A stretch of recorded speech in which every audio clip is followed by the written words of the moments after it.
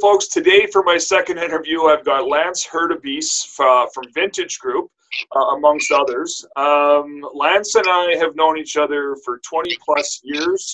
When I actually first moved to Calgary uh, from Vancouver and was looking for employment, uh, I had the pleasure of spending a whole day with Lance while he uh, courted me, and I apologize, I still said no. And then a few years ago, again, we looked at doing something and it just didn't work out. So, um, Lance is an awesome guy. He's been around the city for a very long time, a restaurateur with great experience, awesome in the community, uh, which is why I included all of his restaurants in our list uh, on our previous video today and why I wanted to, talk to Lance today. So, Lance, you've been doing this a long time. How, how long have you been in the restaurant industry? 34 years. I started Moxie's in 1986, so it's been a while. Been a long time, and that was uh, quite the roller coaster. Yeah, that was an interesting time. Yeah. Um, so, what got you started? Where did your love and your passion come for the restaurant industry?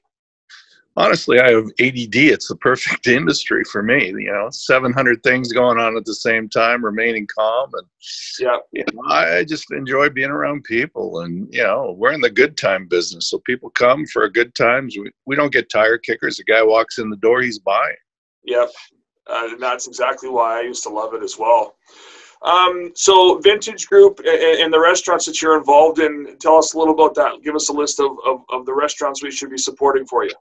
Sure, we have nine restaurants, but right now we're going to introduce uh, takeout or and curbside at Chairman Steakhouse, just in the Mahogany area in the Westman Village to start this Friday and Saturday. And then Wallflower is going to introduce like a vintage kitchen, so you can get Booker's wings there, Booker's fried pickles, vintage burger, uh, vintage mac and cheese, and then a bunch of items from Wallflower. And if that takes off, we'll move it up to Alora. You know, they're on the outskirts, so versus battling the downtown crowd. Yeah, so you're gonna kind of try and you're gonna use one central kitchen and try and do all, your all the all the customers' favorites from most of the restaurants and be able to put them out of one kitchen.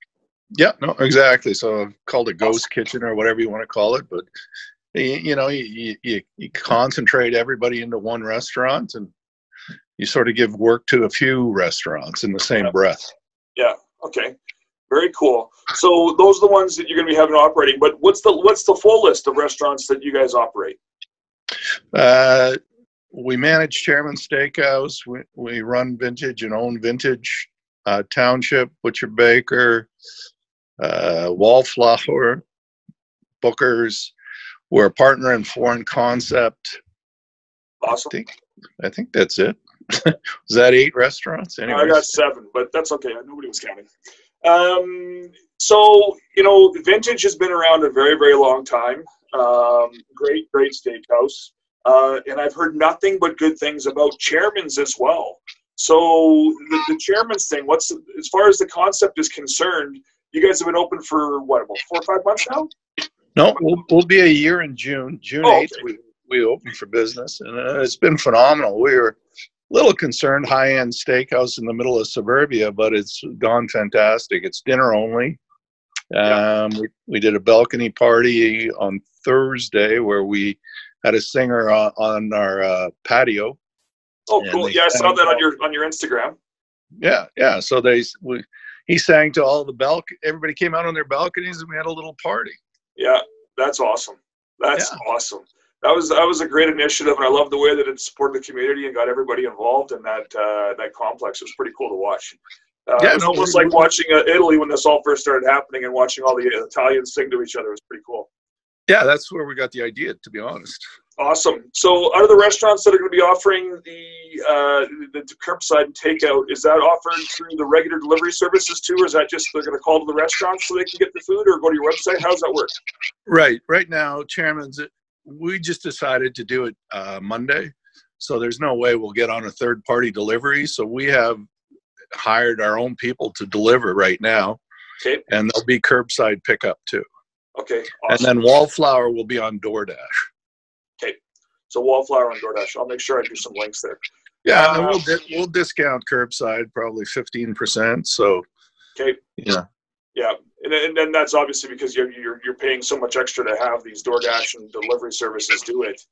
Uh, is that a challenge for restaurants these days? You know, trying to stay afloat and then using these services, but then also having to pay the premium to use those services?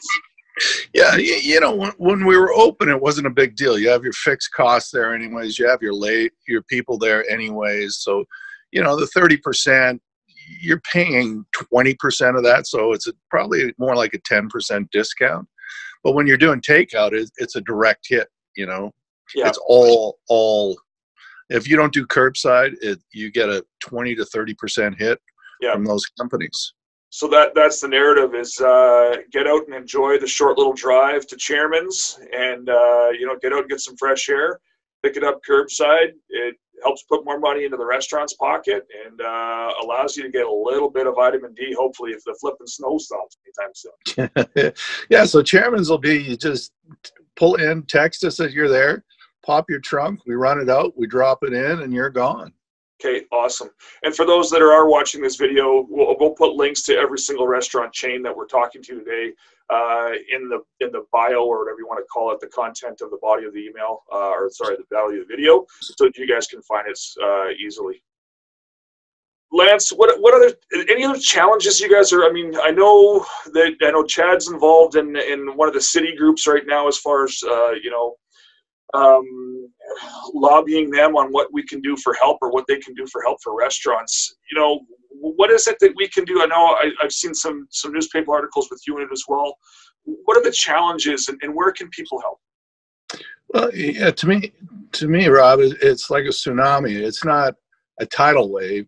It's going to come in four waves. So, the first wave is your cash flows cut off. You owe bills from 30 days all those come in. You get yeah. through that, you have rent. If you defer rent, you're going to get nailed with that bill later. So it's more like a loan. Yeah. Third wave, third wave is now it's over. We got to reopen. It's probably a forty thousand dollar hit because we've given all our food to staff and food banks and stuff like that. So yeah. we need to restock the restaurants. So you get through that, and then the deferred rent comes up. I've heard, you know, we're not going to be we're going to continue social distancing, I heard, unfortunately, today to 2022, which will decimate the business. Uh, you're certainly right. That's going to decimate the business. So this is where people really need to support you guys on the takeout initiatives that you guys are getting involved in, um, because you know the, the, way I look at this, and this is why I, I literally get emotional about it, even though I'm not in the business anymore is that uh, I have so many friends and family that are still involved in this industry, and it literally is the core of our fabric, or the fabric, however you want to use that saying. Um, it, it's it's the tie that binds, and it is such a social aspect of our lives. Um, you know, we just really need to support you guys to make sure that uh, everybody makes it through this. Yeah, no, it's uh, we we got to get the landlords on side, but the landlords need to be looked after too. Like it's not, hey, yeah, free for the, the landlords are looking after themselves, and I get that, but we need to get through this. And the structure, the rent structures we have today, will not carry anybody through for the next year. If the rents don't go down or we don't get major support, my my guesstimate was 30% of the restaurants won't reopen when this is done 20 yeah. to 40% won't reopen once the deferred payments come in it'll just crush them it'll yeah. destroy them exactly and, you're right. Uh, my previous conversation with Chad McCormick. By the way, Chad says hi. Um, yeah, say hi to Chad. My my previous comment with him, you know, I, I kind of threw landlords under the bus uh, and that's from you know my previous position of working with landlords and trying to get deals done with them for restaurants. Um, and the difficulty is, is we all we all look at you know there's so many people from the outside that look at this industry and go, oh well, these restaurant owners make so much money. They're you know they're they're richer than beyond belief, and nobody understands that we're working on margins. Or sorry, I can't say we're anymore, but that restaurants are working on margins of three to five percent um, and that a lot of that uh, on your GROC, as sorry, your, your gross rent and operating cost to your landlord, you know, lots of guys, you know, could be paying. You used to always target like 10 or 12 for fast casual, but, you know, guys like you are paying far, far, far higher than that. Um, right. And it's difficult. Yeah, no. So, so the government is trying, and I appreciate that. But the 75% wage subsidy doesn't help me if I have no business. I can't bring people back to do nothing. Yeah. So throw that one out. Yeah. $40,000 loan, that's great. But that's Yeah. rent in a couple of our restaurants. Yeah. You know, that's a month's rent. Yeah. And then, uh, you know, it, these other loans are strictly that a, a loan to carry you through. So now I'm going to be burdened with that debt with way less sales. We anticipate a year to two years to get back to where we were in sales. Crazy. So narrative is, folks, please get out and support these restaurants. Let's see them survive and and and, and move forward. Um, you know, 35 plus years uh, that you've been on this, Lance, and you know, I want to see you do it for another 35. Right? I don't. I don't another five. okay, five more for Lance. Five more for Lance. We'll give There we'll give Chad another 35. Although Chad, sure doesn't want to do anymore either. Yeah, he's Awesome. a young pup. All right, Yeah. buddy. I appreciate the call. Hey, no, I appreciate you giving me the time, and uh, you know, I will uh, make sure I'm getting some Terrence takeout sometime this week. Appreciate I it, appreciate Lance. Thanks, Rob. Take care, brother. We'll You talk too. to you soon.